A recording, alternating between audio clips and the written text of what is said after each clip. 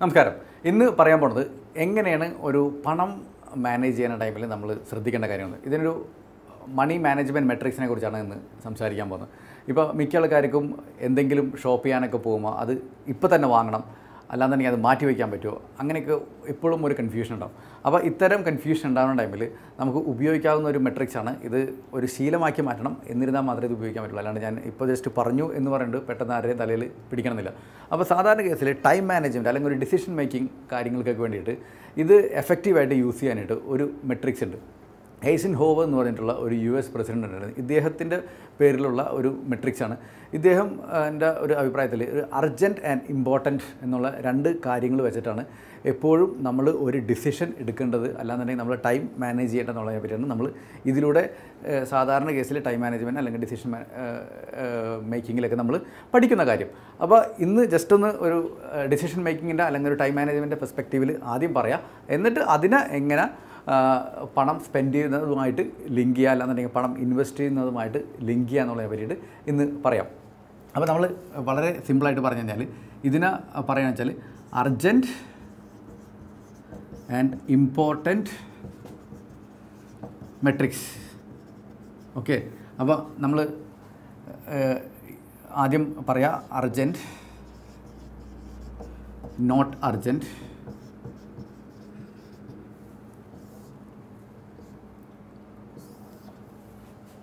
okay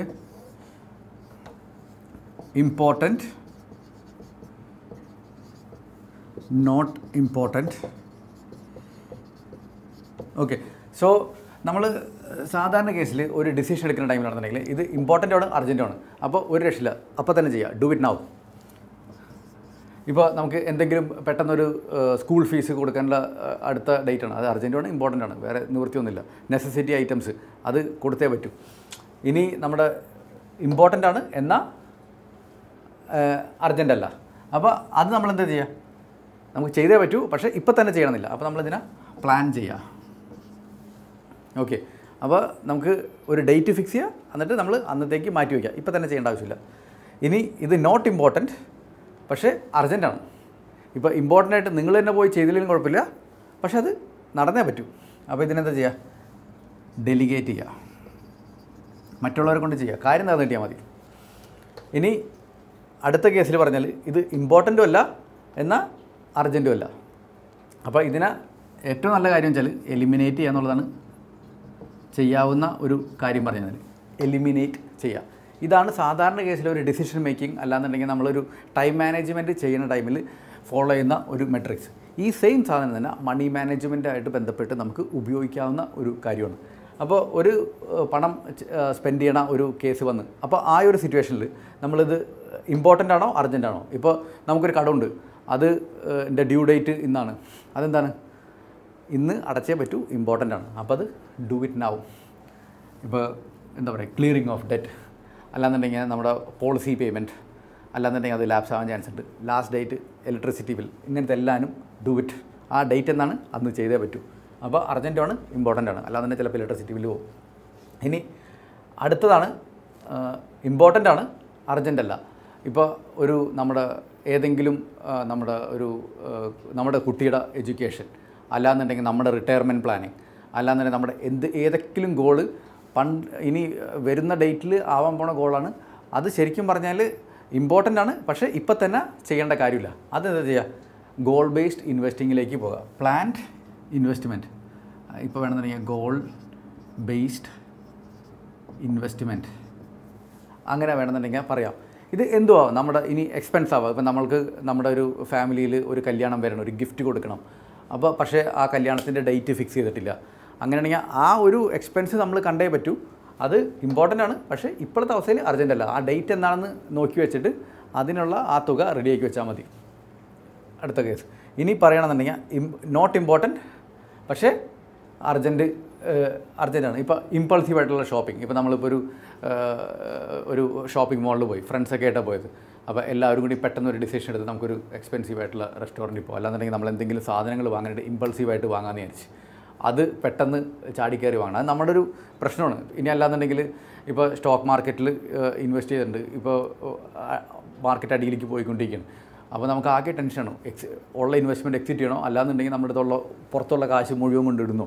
അപ്പോൾ ഇത് കാര്യത്തോടെ എടുക്കുകയാണെങ്കിൽ ശരിക്കും പറഞ്ഞാൽ നമുക്ക് അർജൻസി നമുക്ക് ഭയങ്കരമായിട്ട് തോന്നും. എന്താ ഇമ്പോർട്ടന്റ് ആണോ വെച്ചല്ല നമുക്ക് കുറച്ചും കൂടി സാവകാശം എടുത്ത് ചെയ്താൽ മതി എന്നുണ്ടെങ്കിൽ അങ്ങനെ ചെയ്താൽ മതി. ഇപ്പോൾ എപ്പോഴും നമ്മൾ ഇമ്പൾസീവ് ആയിട്ടുള്ള ഷോപ്പിംഗ് എപ്പോഴും ഈ കാറ്റഗറിയിലാണ് നമ്മൾ പെടാറ്. അപ്പോൾ അത് നമ്മുടെ ഇഷ്ടമാണ്. നമുക്കത് ഇപ്പോൾ തന്നെ ചെയ്യണോ? അതോ കുറച്ചും കൂടി സെൻസിബിളായിട്ട് ചെയ്താൽ മതി എന്നുള്ളത്. കൂടുതലും നമ്മൾ ആലോചിച്ചിട്ട് ചെയ്യുന്നതാണ് ഏറ്റവും നല്ലത്. ഇനി അടുത്ത കേസ് പറഞ്ഞു കഴിഞ്ഞാൽ not important and not urgent ഈ കേസ് ഇപ്പോൾ ലൈഫ് സ്റ്റൈലുമായിട്ട് ബന്ധപ്പെട്ട അനാവശ്യ ചിലവുകൾ മറ്റുള്ളവരെ കാണിക്കാൻ വേണ്ടിയിട്ടുള്ള ചിലവ് എല്ലാനും ഈ കാറ്റഗറിയിലാണ് പെടുന്നത്. അത് ഏറ്റവും നല്ലത് എലിമിനേറ്റ് ചെയ്യുക എന്നുള്ളതാണ് അപ്പോൾ നമ്മൾ ആദ്യം ആകെ- ആകെ പഠിക്കേണ്ട കാര്യം വെച്ചാൽ നമ്മൾ സത്യസന്ധമായിട്ട് ജീവിക്കാൻ പഠിക്കുക. നമ്മുടെ അഫോർഡബിലിറ്റിക്ക് അനുസരിച്ചുള്ള ഒരു ലൈഫ് സ്റ്റൈൽ മാനേജ് ചെയ്യാൻ പഠിക്കുക. ഇതല്ലാന്നുണ്ടെങ്കിൽ നമ്മൾ will end of spending money here അപ്പോൾ ഇതാണ് ശരിക്കും പറഞ്ഞാൽ ഇമ്പോർട്ടന്റ് ആൻഡ് അർജന്റ് കാറ്റഗറി വെച്ചിട്ട് എങ്ങനെ പണം മാനേജ് ചെയ്യാന്നുള്ളതിന്റെ ഒരു മെട്രിക്സ്.